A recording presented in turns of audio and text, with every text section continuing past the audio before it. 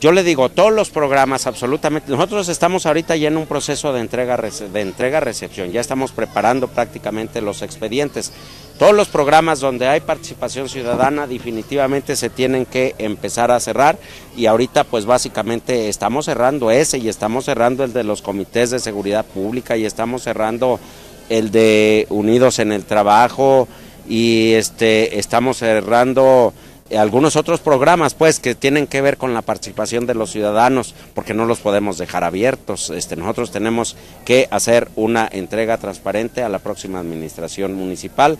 y yo pues espero que venga lo mejor para Durango en los próximos. No, ahorita prácticamente estamos cerrando el programa, este, arreglando detalles, eh, algunos compromisos que estaban en stand-by y todo eso, pero este, la idea es cerrar al 100% bien.